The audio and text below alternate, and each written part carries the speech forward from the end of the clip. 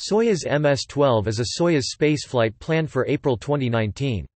It was initially planned to transport two members of the Expedition 59 crew to the International Space Station, as well as the first astronaut from the United Arab Emirates, though following the in-flight abort of the Soyuz MS-10 craft, the crew assignments are likely to change. Crew